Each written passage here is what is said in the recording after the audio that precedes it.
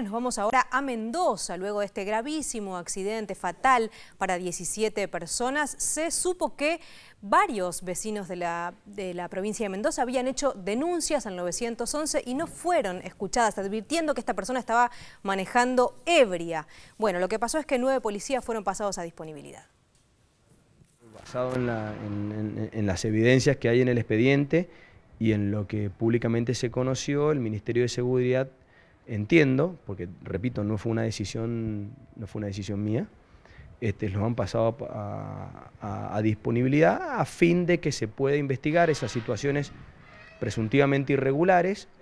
en donde la policía pareciera eh, no haber respondido a la altura de las circunstancias este, para que se investigue con tranquilidad. No, la primera hipótesis que se maneja como motivo del siniestro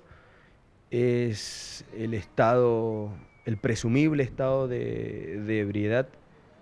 que, con la que conducía el camión el, chofer, este, basado en, los diversos testimonios que están en el, expediente y que de alguna manera ya son, son de público conocimiento.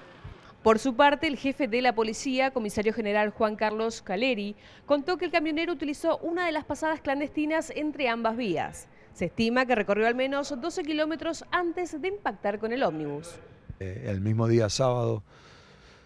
mm, que se liberó la ruta a las 4 de la mañana, a las 6 se le aportó elementos de prueba que son grabaciones de audio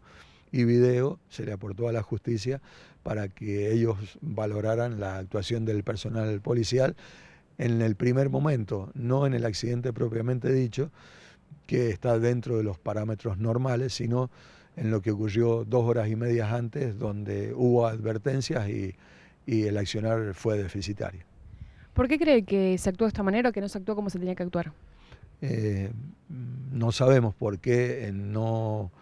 eh, no se hizo las comunicaciones que se deberían haber hecho al personal que estaba en calle o que estaba en otros lugares para alertar entre las 14.47 y las 15.02